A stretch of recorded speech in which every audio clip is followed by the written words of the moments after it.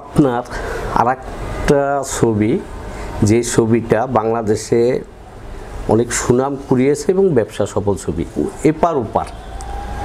এই ছবিটার বেশ গানগুলা বলতে গেলে খুবই জনপ্রিয় হ্যাঁ এখনও মনে রাখার মতো। এখনও এটা সম্বন্ধে যদি কিছু বলতে এখন এটা সম্পর্কে বলতে গেলে তো যেটা হচ্ছে যে বাংলাদেশে প্রথম ওই ছবির মাধ্যমেই ভারতীয় একজন হিরোইন এই আমাদের দেশে কাজ করে।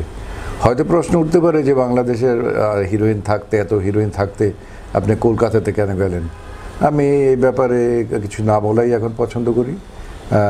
যে কোনো কারণে জন্যই হোক আমাকে কলকাতা থেকে গিয়ে ওকে আনতে হলো। এবং কলকাতায়ও ওরকম নাম করা কোনো হিরোইন ছিল না। একটা সাইড হিরোইন সেকেন্ড হিরোইনের ক্যারেক্টার কিছু ছবিতে করেছিল। এবং তাকে এনে আমি তার উপরে চান্স নিয়ে আমি ছবিটা করেছি। And by the grace of almighty Allah it was a super hit আপনাদের কিন্তু আরও একটা জনপ্রিয় ছবি আছে জীবন নৌকা। হ্যাঁ জীবন কিন্তু সুপার ডুপার। হ্যাঁ, জীবন নৌকা সুপার ডুপার হিট এবং জীবন নৌকা অত্যন্ত সমালোচিত আলোচিত এইটাই হচ্ছে আমার সবচেয়ে আনন্দ। যে আমার ইউনিভার্সিটিতে আমি যে ডিপার্টমেন্টে পড়াশোনা করতাম সেই ডিপার্টমেন্টেও এটা নিয়ে হেড অফ দ্য ডিপার্টমেন্ট সবাইকে ডেকে এই ছবিটা নিয়ে প্রশ্ন করেছেন এবং আমাকে সেখানে অনেক প্রশ্নের জবাব দিতে হয়েছে। এই যে ছবি নিয়ে ঢাকা বিশ্ববিদ্যালয়ের আলাপ আলোচনা করা হয়েছে, এটাই ছিল আমার জীবনের সবচেয়ে বড় পাওনা। ববিতা আপার খুব দুর্বলতা ছিল আপনার প্রতি এবং আপনি ডাকলে সে না করতে পারতেন না। তার সাথে আপনার অনেক ছবি।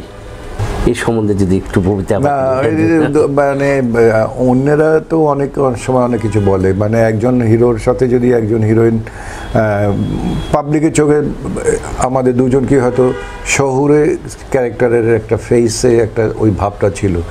যে কারণের জন্য এইসব ছবিতে ববিতাকে যারা নিতেন তারা আবার আমাকেও নিতেন। এবং এই দুজনে মিলে একটা একটা জুটির মতো হয়ে গিয়েছিল, যেটা পাবলিক পছন্দ করতো এবং ব্যবসা ব্যবসা তখনই হয়। প্রডিউসার যখন তাদেরকে ছবিতে নিয়ে একটা পেয়ারকে নিয়ে কাজ করে, যে যে পেয়ারটাকে অডিয়েন্সরা পছন্দ করে। দেখেন, সেই অডিয়েন্সরা পছন্দ করতো এবং পছন্দ করার কারণের জন্যে তার সাথে আমার অনেক ছবি হয়েছে। কিন্তু আমি আমরা যখন ছবি করতাম, ববিতা এবং আমি আমি ওনার কথা ঠিক বলতে পারব না, কিন্তু আমার কথা জানি যে আমি আমার পাশে যে থাকতো, সে ছেলে না মেয়ে নাকি সেটা নিয়ে আমি চিন্তা করতাম না কখনো। আমি আমার সহকর্মী হিসাবে তার সাথে যতটুকু আপন হওয়া দরকার, যতটুকু প্রিয় হওয়া দরকার, ততটুকুই আমি করেছি।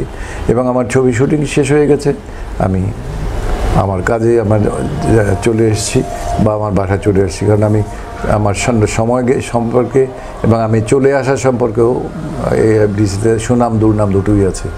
রাত দশটার পরে আমি সাধারণত শুটিং করতাম না। কারও বাসায় কারও বাসায় আমি সাধারণত যেতাম না। আজকে পর্যন্ত আমি দুই, তিনজনের বাসাকে আমি চিনি। কিন্তু আমি এখন, আজকে আমি কারও বাসায় চিনি না।